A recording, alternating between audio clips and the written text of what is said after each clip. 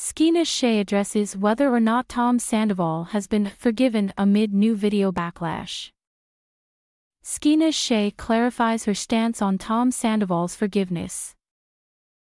Vanderpump Rules cast members are filming a trip to Lake Tahoe. Fans speculate if the cast has moved on from Sandoval's actions. Scheana was critical of Sandoval last season, but social media users are unsure if they made amends. Scheana insists that her interactions with Sandoval are strictly professional.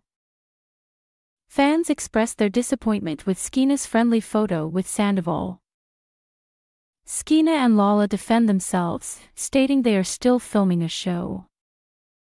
The cast is supporting Lisa Vanderpump's new restaurant and keeping their distance from Sandoval. Lisa is attempting to bring Sandoval back into the group, but the cast wants nothing to do with him.